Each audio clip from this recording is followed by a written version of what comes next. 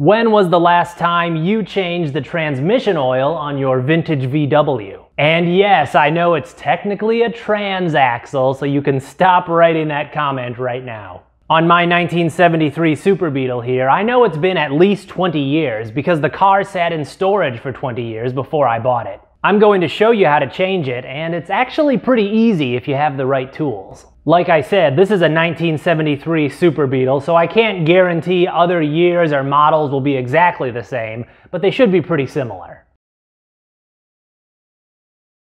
Now, let's talk about what you need to do this job. There are a couple different ways to do this. Uh, one way uses a funnel and a long tube to fill the transmission.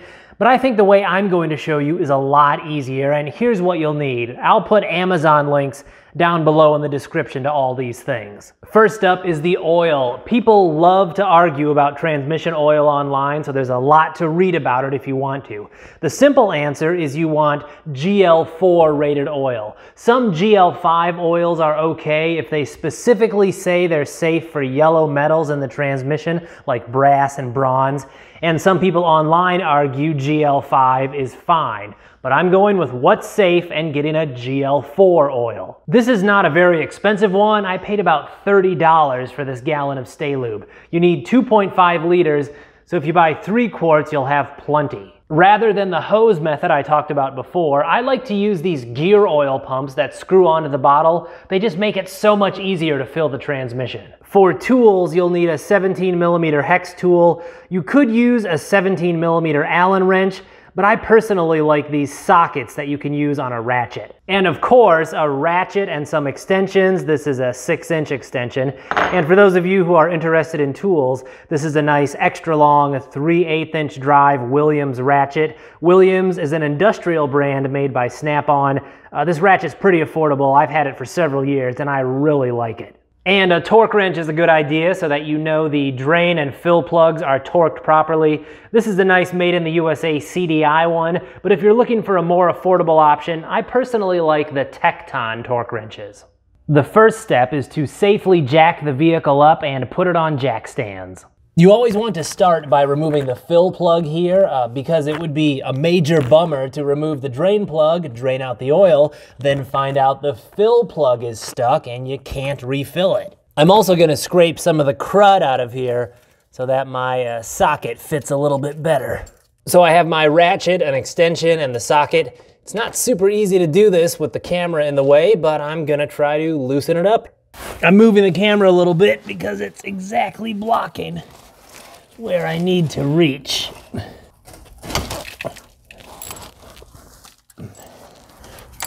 All right, that came out without too much trouble.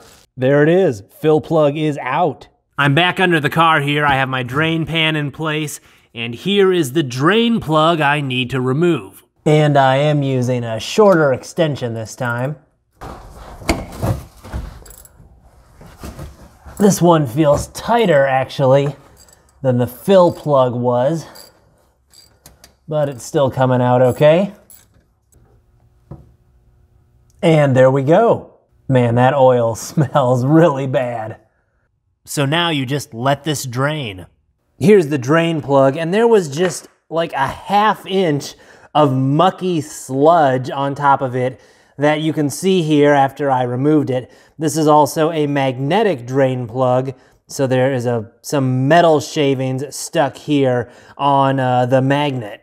I'm not too concerned about this because this oil is uh, at minimum 20 years old.